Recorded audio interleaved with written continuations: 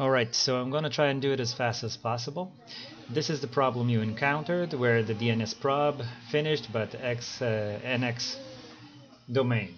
So the server IP address was not resolved and not found, something like that. In Firefox you'll get this message, having re trouble reaching your site. One way of fixing it, the, the one that worked for me, your network connections.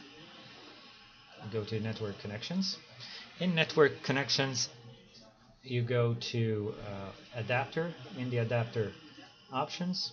In the options go to properties for TCP version 4 ah, not okay. TCP 4 properties. You'll see that this is either a number or automatic. And the problem here is the DNS is of your service provider may be offline or something's wrong with it or this DNS that is listed here is something's wrong with it.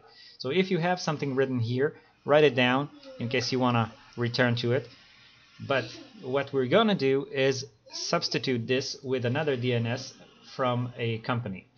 Which DNS? It's your choice. I'm going to use the uh, Comodo Security uh, DNS, which is a um, you know security application and you can scroll down to the page and you get the DNSs here. You can also write DNS servers list and you get other DNSs available on the internet.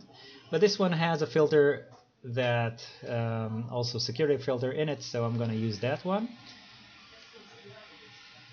Gonna copy this. Where's my adapter again? Gonna copy it in here yeah and get the other number.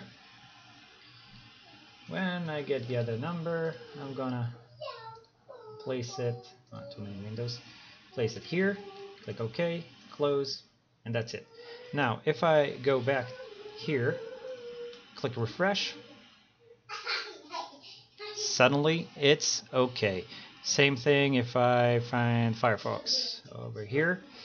Uh, Firefox uh, then Chrome same problem I refresh and it works.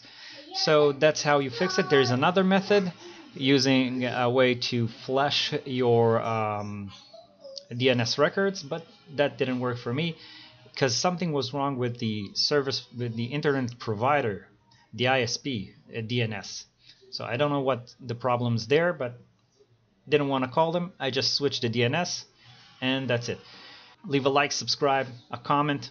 That will be great and have a great day as well.